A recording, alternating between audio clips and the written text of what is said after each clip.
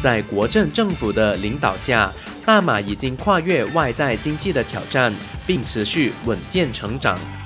尽管面临外在经济的挑战，大马的经济成长率仍然维持在四点二至六八仙之间。于二零一零年至二零一六年期间，已创造二百二十六万个就业机会。二零一七年三月，录得大马史上单月最高出口额，达到八百二十六亿六千万令吉。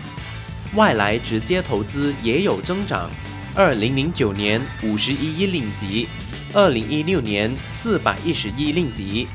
惠誉国际评级 （Fitch Ratings） 及穆迪。分别给予大马 A 减及 A 三评级，展望为稳定。